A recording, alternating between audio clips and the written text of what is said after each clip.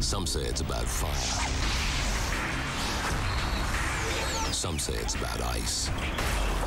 If you think power, hold with those who favor fire. If you think twice and know enough of the game, you'll know that ice can stop the flame. The question is, would it suffice? Handball and the EHF Champions League from September 28th, live on Eurosport 2.